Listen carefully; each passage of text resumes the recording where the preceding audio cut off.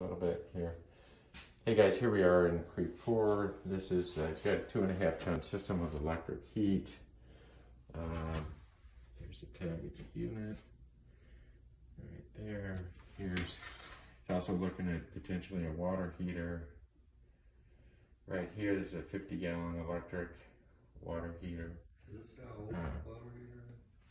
and it's got a line tap on top.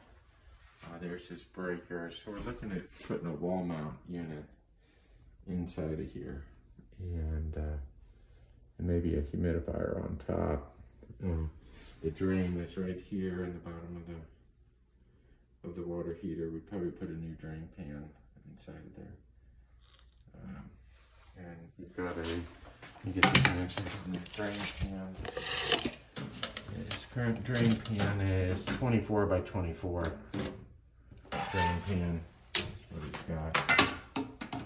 Yeah, 24 by 24. All right, cool. Thank you.